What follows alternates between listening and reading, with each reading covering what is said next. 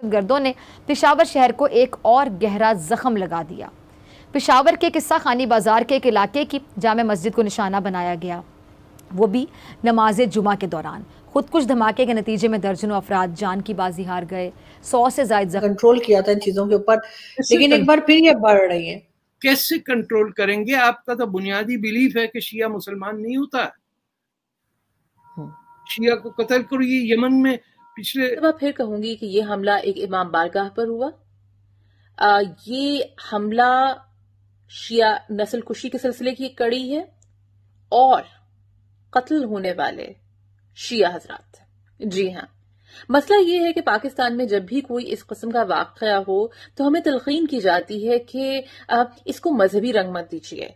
ये मत कहिए कि शिया नस्ल कुशी की जा रही है, क्योंकि इससे मुल्क रहमत करे या कोई जख्मियों को भी कोई अफसोस, कोई अपील कर देता है आदमी कोई मदद की अपील कर देता है, कोई दुख का ऐसा कुछ भी नहीं।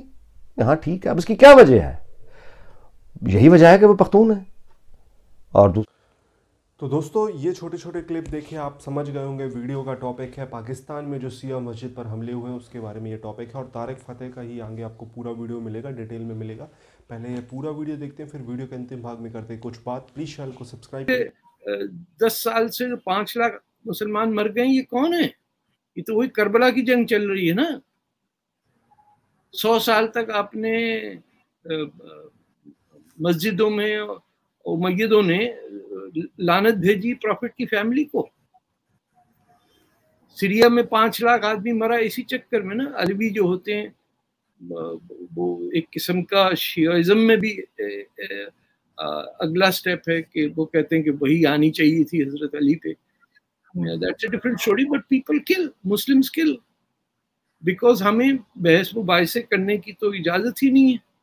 तो हम कोई इशू बच्चा भी उठाए। पाँच साल का बच्चा अगर ये बात हो कि अब्बा ये व्हाट इज़ गॉड वो धुनाई होती है उसकी कि होश ठिकाने आ जाते हैं उसके। मस्जिद जाता है वहाँ भी पिट के आता है। कुरान रट रहा है समझ में आ नहीं रहा है उस्तानी मार रही है मौलवी मार रहा है। वो रट रट के चारों कल में सुना दो वो चारों सुना देता है। ऐतल कुर्सी पढ़ो रात को ताली बजाओ शैतान भाग जाएगा। वो जादू मंत्री के चक्कर में we are products of a very strange society so this will happen लेकिन फिर मुल्ला दोनों मुल्कों के एक ही जैसे हैं चाहे पाकिस्तान हो या हिंदुस्तान मुल्ला माफिया जो है उनको मैंने तो एक ही तरह की सोच का पाया। तो तो है पैदा ही हिंदुस्तान की ये बरेलवी और दियोबंदी अहल हदीस ये यहाँ का मसला थोड़ी था कभी सिंध में आपने सुना था? या बलूचिस्तान में या सरहद के अंदर कि कौन सा, अरे, यूँ मार देंगे और वो कर देंगे। एहरारी निकल आए, उन्होंने पकड़ के उसको मार दिया, बेलचा पार्टी वाले। ये सब दिमाग फिरा हुआ हो तो तभी आप इस किस्म की फैशिज्म में बिलीव करेंगे ना, पूरी सियासी पार्टी बेलचा लेके घूम रही यू नो कोई यूनिफॉर्म बनाया हुआ है, कोई लाल कुर्ती है, कोई ये है। और पाकिस्तान बन गया, उसके बाद आपने पकड़ के जिन्हा साहब ने खुद अपना चेहरा बदल दिया एक दो दिन के अंदर। यहाँ कह गए कि जैसी तुम हो, हिंदू हो, मुसलमान हो you are all equal citizen और वहाँ जाके तकरीरें कर रहे हैं कि you are special people and Muslims have the future इतनी कॉन्ट्रडिक्टरी चीज़ें और कोई उनका लिखा हुआ काम नहीं है कि आप पढ़ के क्रिटिक भी कर सकें। ना उन्होंने कुछ लिखा, ना लियाकत अली खान ने लिखा। किसी ने कुछ लिखने का काम ही नहीं किया कि समझ में आए। सर, सैयद से नहीं है। रिकॉर्ड नहीं है। लेकिन सर साथ साथ ये ये चीज़ें क्या बढ़ती हुई देख रहे हैं? जो ये अटैक्स दोबारा से शुरू हुए हैं, पहले कोयटा और अब केपीके में, और ये यही लोग हैं, तालिबान वगैरह ही होंगे और कौन होगा? लेकिन क्या आपको लग रहा है कि ये कंट्रोल हो पाएगा या ये फिर उसी तरीके से हर दूसरे दिन धमाके? नहीं कंट्रोल कर सकते आप। अगर आप ये समझ रहे हैं कि अल्लाह आपके साथ है तो क्या क्या कंट्रोल करना है? और अगर आपका यकीन है कि जो चीज़ होती है वो वो तो होनी है, क्योंकि अल्लाह ने मुतन कर दिया कि ये होगा। तुम्हारी शक्लें खराब होंगी। तुम्हें गर्लफ्रेंड मिलेगी जन्नत में।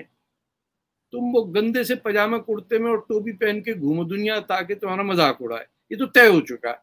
अब आप कह रहे हैं आप मेरा मज़ाक उड़ा रहे जैसी जहाज़ में पढ़ते हैं, शक्लें बदल जाती हैं, सूट टाई हो जाता है, अजीब सा एक्सीडेंट होता है, वापस आते हैं, फिर वही, दो चाय लेके आना भाई, नॉक जो इंसान की ट्रीटमेंट मुसलमान कंट्रीज़ में होती है, अरे, सऊदी अरेबिया तक में, मैंने नहीं देखा, जिस तरह पाकिस्तान में चाय मंगवाई जाती है। मैं देख नहीं रहा, क्या खड़ा देख रहा, चाय लेके आ, साहब आए साहब बैठ जाते हैं, चाय चल रही होती है।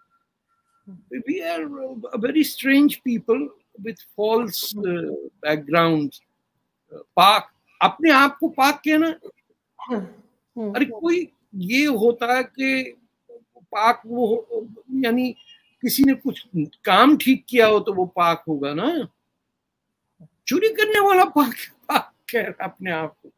अरे यार नोट संभालो ना। तो और फिर सर आगे से ये कहते हैं कि सत्ताईस रमज़ान को बना था इसलिए टूट नहीं सकता। तो एक साहब के साथ मैं इंटरव्यू कर रही थी अनीक नाजी शायद आप जानते हो जर्नलिस्ट हैं। उन्होंने कहा कि ये तो टूट गया था थोड़े टाइम हाँ। के बाद ही टूट के बांग्लादेश बन गया था ये अभी तक वही नारे लगा रहे कि कुछ नहीं हो सकता। मैं आपको मज़ेदार बात बताऊँ मेरे पुराना एटलिस निकला जो स्कूल के जमाने का था उसमें जूनागढ़ पाकिस्तान में दिखाया रहा। डिस्प्यूटेड एरिया जूनागढ़ पे कब्जा कर रहे अरे मेरे भाई जान छोड़ो। पता ही नहीं है इनको। जिन लोगों को ये नहीं पता कि जिससे दुश्मनी कर रहे हैं, नाम उनसे लिया हुआ है। स्थान जो है, स्थान मीन्स प्लेस अफगान का लैंड है, या कजाक की है, या यू नो जो भी है, इन्होंने कहा, हम तो पाकिस्तान लेंगे। इनको पता ही नहीं था, स्थान का मतलब क्या? सारी ये जो सेंट्रल एशियन मुल्क हैं, इन्होंने संस्कृत के नाम रखे हुए और हैं एंटी हिंदू तो जो इसको, पता नहीं वर्ड कैन बी यूज्ड और नॉट घनचक्कर कहते थे हम बचपने में।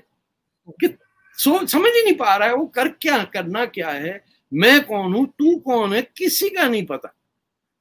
So they will splinter one day into varying degrees of stupidity यानी इस वक्त हायरार्की पाकिस्तान में जहालत की होती है।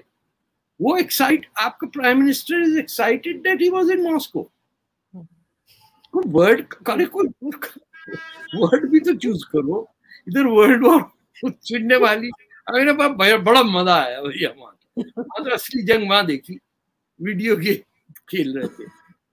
वहाँ पे भी मुसलमान लड़ रहे हैं आपको पता है ना? वहाँ भी जो। फौज में जो उन्होंने भेजे वहाँ वो चेचिन भेजे हम्म। और इनकी तरफ़ से भी यूक्रेन के अंदर भी वो चेचिन के अगेंस्ट जो है वो लड़ रहे हैं गए थे सर, इमरान खान गए थे, इनको तो बताना चाहिए था रशियन प्रेसिडेंट को कि जी, अगर तुम्हें यूक्रेन को अपने मुल्क का हिस्सा बनाना है तो नक्शे में बना दो। हमने भी तो एक नक्शा पास किया था ना, कश्मीर को पाकिस्तान में दिखा दिया था गंगावा हो गया था। इंडिया वाले कह रहे ये क्या हुआ है? उनके यहाँ डिबेट में डिबेट शुरू हो गई कि ये क्या कर रहे हैं। तो वही कर लेते बजाय जंग लड़ने के। It is a very sad state of affairs क्योंकि आपकी जो इंटेलिजेंशिया है it refuses to chat refuses to talk चाहे वो प्रोफेसर हों या मुल्ला हों मुल्ला भी आदमी कुछ पढ़ के ही होता है ना तो ही काफ़ी सारी किताबें पढ़ने वाले को इंटेलेक्चुअल कहते हैं ना। तो वो पढ़ने के बाद कुछ सर में बात समझ में ना आए। ये तो तय होना चाहिए ना कि there is no such thing as an Islamic country कभी थी नहीं, कभी ना तो दोस्तों, ये वीडियो यहाँ पर होता है समाप्त। आपने देखा तारिक फ़तेह ने क्या एक्सप्लेन किया, क्या बता दिया, किस तरीके से कि पाकिस्तान में जो शिया हैं, शियाओं का मतलब क्या हाल है? और शियाओं का हाल पाकिस्तान के अलावा अफ़गानिस्तान में भी बहुत ख़राब है। और भारत में ये चीज़ें बहुत दब जाती हैं शिया सुन्नी विवाद के मतलब जो दंगे फसाद हैं वो इतने सामने आते नहीं हैं, लेकिन इंटरनली ये विवाद रहता है। बेसिकली भारत में दबने की वजह क्या है कि यहाँ पे हिंदू मुस्लिम विवाद हावी पड़ जाता है सिया सुन्नी विवाद पर तो वहाँ पर ये चीज़ें दब जाती हैं। लेकिन पाकिस्तान में क्या है, हिंदू है नहीं, पाकिस्तान में दूसरे धर्म के लोग ज़्यादा है नहीं तो सिया का पाकिस्तान में अच्छा खासा नंबर है। सिया मतलब पाकिस्तान में तीन से चार करोड़ की आबादी होगी भारत में भी इतनी ही होगी। पाकिस्तान के जो कायदे आज़म मोहम्मद अली जिन्ना है उन, वो भी सिया मतलब सिया मुस्लिम थे और भारत में आपको बता दूँ, असदुद्दीन ओवैसी भी शिया हैं। ये फैक्ट बता रहा हूँ मैं और कुछ इसके पीछे मतलब आप गलत ना समझें। तो दोस्तों, पाकिस्तान में आपने देखा होगा, जो शिया मस्जिद पर अभी हाल ही में धमाका हुआ, उसका वीडियो आप देखेंगे तो एक बंदा आता है, जो लोग मस्जिद में नमाज़ पढ़ने के लिए जा रहे हैं, उनको शूट करता है वो, और तीन चार लोगों को तो उसने सीधा शूट करके मारा और सीधा अंदर जाते ही बॉम्ब ब्लास्ट हो जाता है। वो वीडियो में अपलोड ही नहीं कर सकते। यूट्यूब की पॉलिसी के खिलाफ है वो। आप अगर जाकर वो वीडियो सर्च करें ट्विटर वगैरह पर आपको वीडियो मिल जाएगा।